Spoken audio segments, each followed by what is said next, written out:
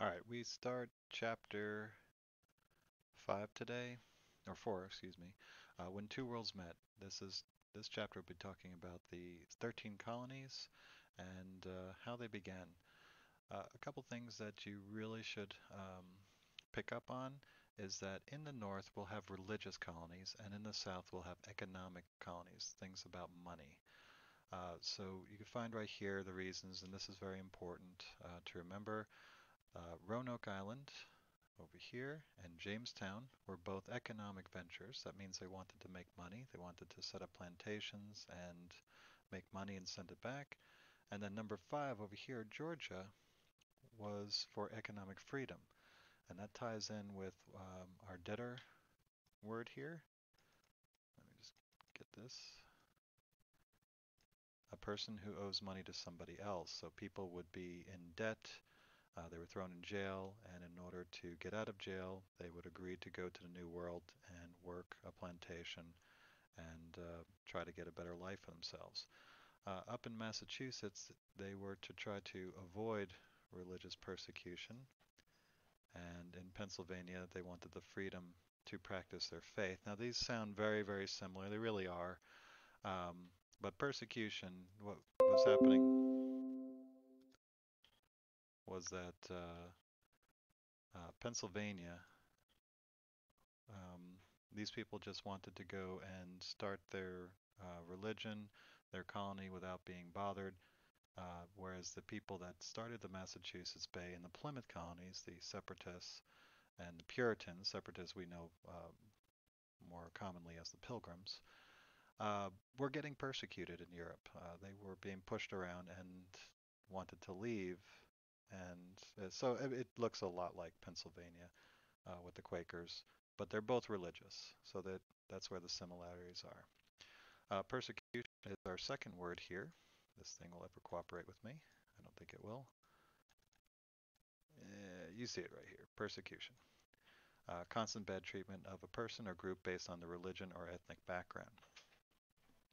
What I was going over was that uh, in, my, in class was that the English government, the king, would go from one religion to the other.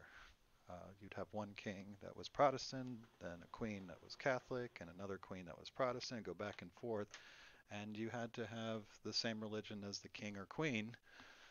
And if you didn't, you would face persecution.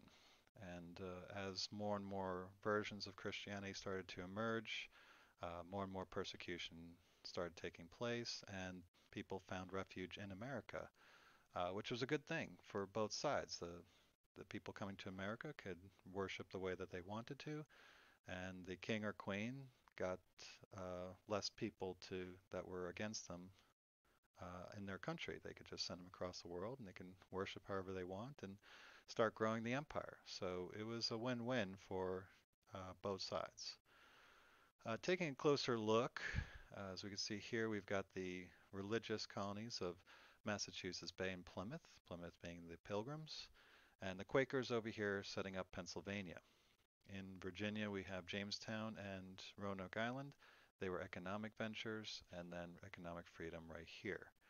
Uh, the first one is Roanoke Island. Roanoke Island is a colony uh, that actually failed twice. Okay, they um, they went there, they tried to set it up, and then they left, and then they came back for a second time, um, and they were gone. So uh, they call it the Lost Colony. Nobody really knows what happens. Uh, there's a lot of theories. Maybe they were killed by Indians. Maybe they joined the Indians. Um, we don't know. There's there's very little evidence telling us, ex except for uh, there was a right here uh, written, carved into a tree, into the some part of the colony. It said Crow. People think it's the Croatoans, one of the uh, uh, local Indian tribes. So it's uh, maybe they were telling them, hey, it was the Croatoans that came after us, or maybe it was we went to join the Croatoans, go find them, and we'll find us. Um, we don't know. It's a, it's just a mystery to this very day. Uh, which brings us to Jamestown, which is probably what you'll remember in uh, Virginia history. It's the first permanent settlement. It's not the first because we had Roanoke Island, but it is the first permanent settlement uh, that the English had here in North America. Uh, Spanish were the first in Florida, St. Petersburg, but the first English uh, permanent settlement is right here in Jamestown. And um, it was also an economic venture. They were trying to make money and grow things like tobacco to make themselves rich. Then we have the um, uh, the Massachusetts Bay and the Plymouth colonies. Uh, they just come a few years after them, and then uh, Pennsylvania, and then finally Georgia uh, came in also for economic freedom. So Pennsylvania Massachusetts, religious. All the southern colonies in Virginia, North Carolina, and Georgia are about economics.